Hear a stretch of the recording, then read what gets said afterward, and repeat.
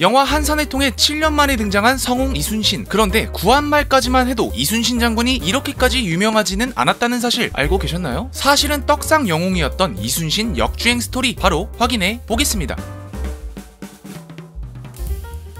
1868년 흥선대원군이 이순신의 영을 기리는 현충사를 철폐했던 것만 봐도 이순신의 위상이 지금만큼은 아니었다는 걸 알 수 있는데요. 이순신이 본격적으로 국민들에게 another 레벨급 위인이 되기 시작한 건 바로 일제강점기 직전인 1908년부터입니다. 우리가 잘 아는 독립운동가 신채호 그는 당시 일제에 억압받는 민중들의 저항 정신을 일깨우기 위해 대한매일신보에 이순신전이라는 소설을 연재했는데요. 일본을 격파한 영웅의 스토리는 일제에 시달리던 그 시절 국민들의 가슴에 불을 지피기 충분했죠. 그렇게 이순신 문학 작품들이 하나둘씩 소개되어 인지도를 쌓아가던 와중에 어이없는 사건 하나가 터지고 맙니다. 때는 일제강점기인 1931년 당시 이순신 장군의 묘소는 후손 가문인 덕수이 씨 종갓집에서 관리하고 있었는데요. 문제는 덕수이 씨 종갓집이 빚에 허덕이고 있었다는 거죠. 돈을 빌려준 동일은행에서는 빚을 갚지 못한다면 이순신의 묘소를 경매에 넘기겠다고 최후 통첩을 하는데요. 이 사실을 알게 된 논설자 정인보는 이렇게 외쳐요. 민족의 은인에게 이런 일이 일어난 것은 민족의 수치이다. 우리는 이 땅을 지켜야 해야만 한다. 기사가 뜨자마자 전국 팔도가 들썩이고 단 1년 만에 2만 명이 넘는 국민들이 후원금을 보내줍니다. 그 금액은 무려 빚의 8배에 달하는 약 17,000원이나 됐죠. 이는 당시 기준으로 쌀 1,250가만이 약 100톤을 살 수 있는 금액이었는데요. 덕분에 은행의 진 빚은 당연히 상환하고 남는 돈으로 현충사까지 중건할 수 있었죠. 이 스토리는 나라를 빼앗긴 국민들의 울분을 자극해서 엄청난 파급 효과를 낳았고 이순신은 본격적으로 민족의 영웅으로서 알려지게 됩니다. 그런데 이승만 정권에 접어들면서부터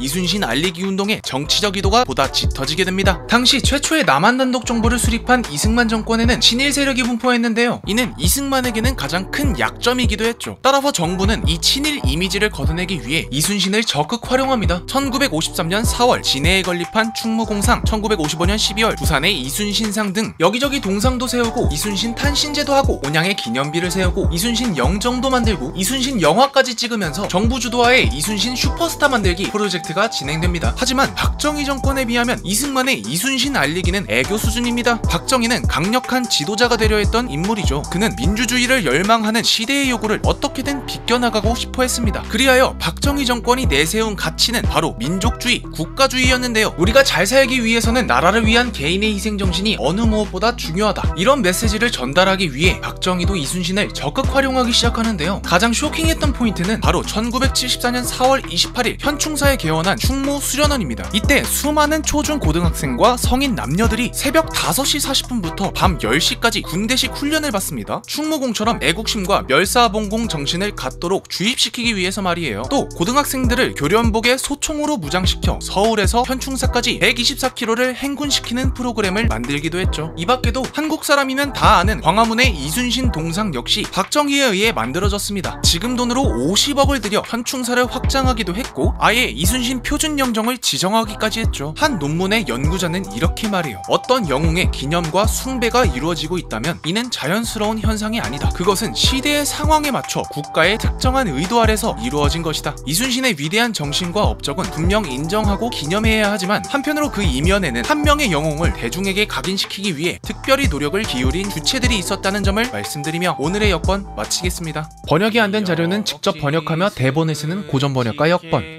댓글로 조선시대에 관한 궁금증을 말해주세요. 좀 늦어도 최대한 사실에 가까운 역사 이야기를 들려드릴게요. 구독과 좋아요 부탁드립니다.